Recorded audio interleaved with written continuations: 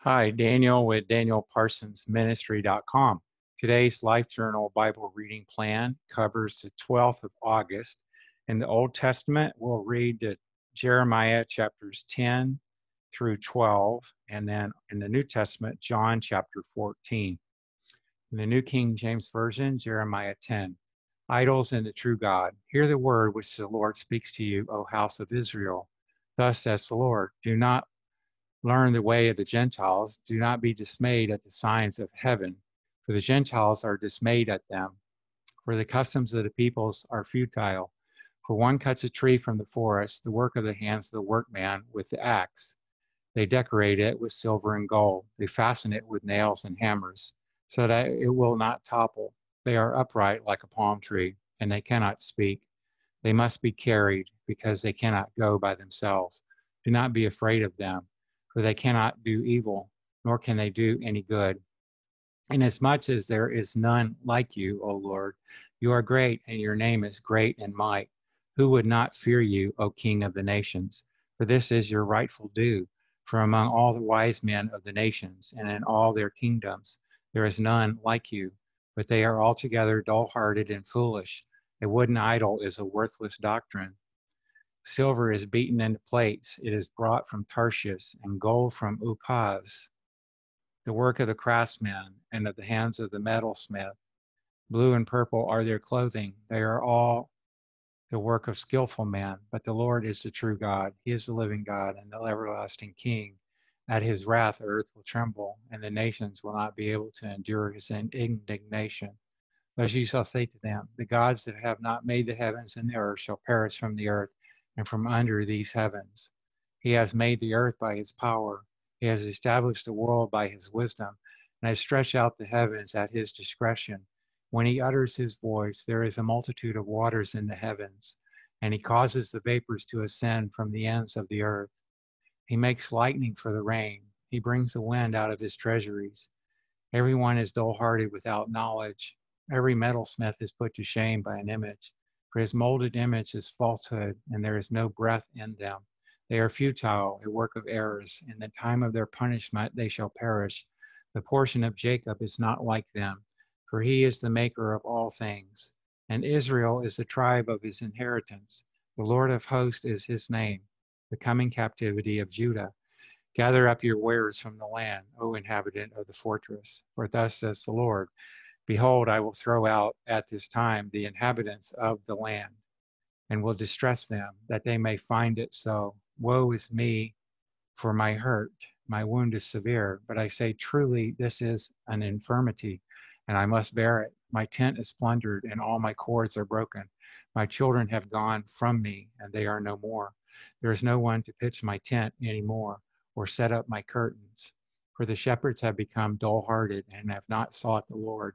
Therefore they shall not prosper, and all their flocks shall be scattered. Behold, the noise of the report has come, and a great commotion out of the north country, to make the cities of Judah desolate, a den of jackals. O Lord, I know the way of man is not in himself. It is not in man who walks to direct his own steps. O Lord, correct me, but with justice, not in your anger, lest you bring me to nothing. Pour out your fury on the Gentiles who do not know you, and on the families who do not call on your name. They have eaten up Jacob, devoured him, and consumed him, and made his dwelling place desolate. As I'm pulling up Jeremiah chapter 11, we go through the Old Testament with this uh, Bible reading plan one time in the year and the New Testament twice in the year.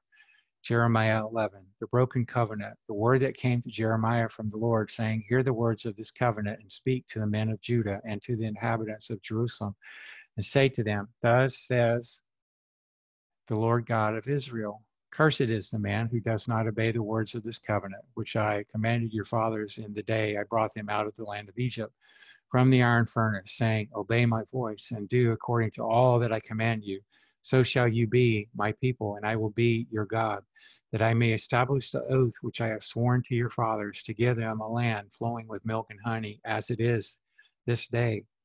And I answered and said, So be it, Lord. Then the Lord said to me, Proclaim all these words in the cities of Judah and in the streets of Jerusalem, saying, Hear the words of this covenant and do them.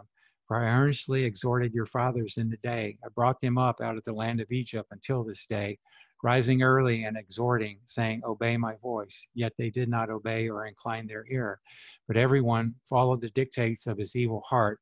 Therefore, I will bring upon them all the words of this covenant which I commanded them to do, but which they have not done.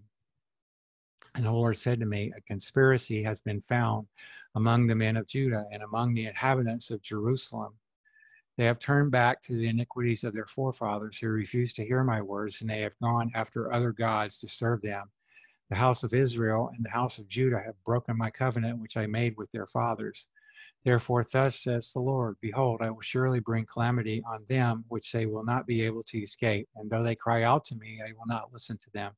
Then the cities of Judah and inhabitants of Jerusalem will go and cry out to the gods to whom they offer incense but they will not save them at all in the time of their trouble.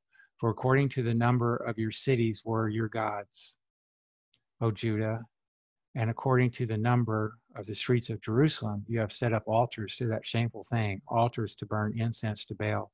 So do not pray for this people or lift up a cry or prayer for them, for I will not hear them in the time that they cry out to me because of their trouble. What has my beloved to do in my house, having done lewd deeds with many, and the holy flesh has passed from you? When you do evil, then you rejoice. The Lord called your name, green olive tree, lovely and of good fruit. With the noise of a great tumult, he has kindled fire on it, and its branches are broken. For the Lord of hosts, who planted you, has pronounced doom against you for the evil of the house of Israel and for and of the house of Judah, which they have done against themselves to provoke me to anger and offering incense to Baal. Jeremiah's life is threatened. Now the Lord gave me knowledge of it, and I know it, for you showed me their doings. But I was like a docile lamb brought to the slaughter, and I did not know that they had devised schemes against me, saying, Let us destroy the tree with its fruit, and let us cut him off from the land of the living, that his name may be remembered no more. But, O Lord of hosts, you who judge righteously, testing the mind and the heart, let me see your vengeance on them. For to you I have revealed my cause. Therefore, thus says the Lord concerning the men of Anathoth who seek your life, saying, Do not prophesy in the name of the Lord, lest you die by our hand. Therefore, thus says the Lord of hosts Behold, I will punish them. The young men shall die by the sword, their sons and their daughters shall die by famine, and there shall be no remnant of them. For I will bring catastrophe on the men of Anathoth, even in the year of their punishment as I'm pulling up Jeremiah chapter 12, um, we've got hundreds of spiritual messages on danielparsonsministry.com. And there's also on the healthy living tab on the menu, hundreds of really delicious vegan recipes that my wife Patricia makes. She's a gourmet chef and mm, they're delicious. Jeremiah 12. Jeremiah's question Righteous are you, O Lord, when I plead with you, yet let me talk with you about your judgments. Why does the way of the wicked per- prosper? Why are those happy who deal so treacherously? You, you have planted them. Yes, they have taken root. They grow. Yes, they bear fruit. You are near in their mouth, but far from their mind. But you, O Lord, know me. You have seen me, and you have tested my heart toward you. Pull them out like sheep for the slaughter, and prepare them for the day of slaughter. How long will the land mourn? And the herbs of every field wither. The beasts and birds are consumed for the wickedness of those who dwell there, because they said, He will not see our final end. The Lord answers Jeremiah, If you have run with the footmen and they have wearied you, then how can you contend with horses? And if in the land of peace in which you trusted they wearied you, then how will you do in the floodplain of the Jordan? For even your brothers, the house of your father, even they have dealt treacherously with you. Yes, they have called a multitude after you. Do not believe them, even though they speak smooth words to you. I have forsaken my house. I have left my heritage. I have given the dearly beloved of my soul into the hand of her enemies. My heritage is to me like a lion in the forest. It cries out against me. Therefore, I have hated it. My heritage is to me like a speckled vulture. The vultures all around are against her. Come, assemble all the beasts of the field, bring them to devour. Many rulers have destroyed my vineyard. They have trodden my portion underfoot. They have made my pleasant portion a desolate wilderness. They have made it desolate. Desolate it mourns to me. The whole land is made desolate. because no one takes it to heart. The plunderers have come on all the desolate heights in the wilderness, for the sword of the Lord shall devour from one end of the land to the other end of the land. No flesh shall have peace. They have sown wheat, but reap thorns. They have put themselves to pain, but do not profit. But be ashamed of your harvest, because of the fierce anger of the Lord.